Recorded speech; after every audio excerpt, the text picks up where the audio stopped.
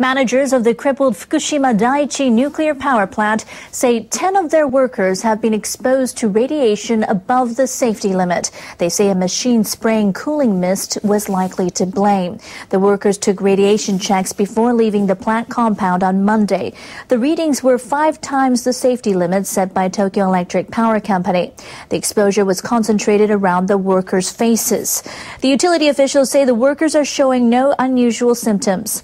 The officials believe the workers were sprayed while waiting for a bus near the plant's control room. They say a machine was spraying mist to help prevent heat stroke among the workers.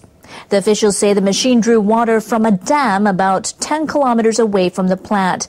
The same water is used for toilets and other facilities.